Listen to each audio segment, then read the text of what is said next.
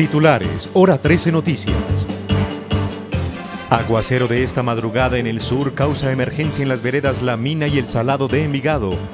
Una vivienda evacuada, afectación de vías y daños en redes eléctricas y de telefonía deja el torrencial.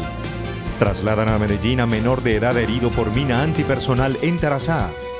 Dificultades de abastecimiento encarecen costo de vida en Buritica. La policía tiene escuadrón contra la pólvora. Ya incautó material detonante en un bus intermunicipal. Se trata de 20.800 papeletas y 24 docenas de voladores. En la buseta viajaban 10 personas, dos de ellas niños de brazos. Con un sonómetro controlarán los niveles de ruido en el Parque Lleras del Poblado. Multas hasta por 20 salarios mínimos legales vigentes y el cierre definitivo de los establecimientos comerciales serán las sanciones por incumplir la norma.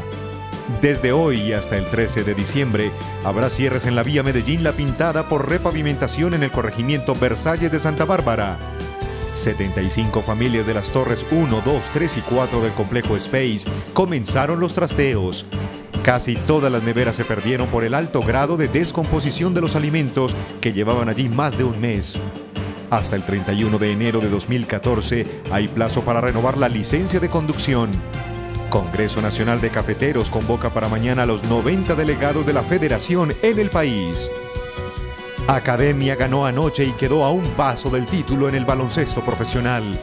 Oros de bicicrosistas antioqueños ayudaron a recorte de Colombia en medallería de bolivarianos. Río Negro le apunta a su tercera final en el torneo de la B para pelear ascenso directo.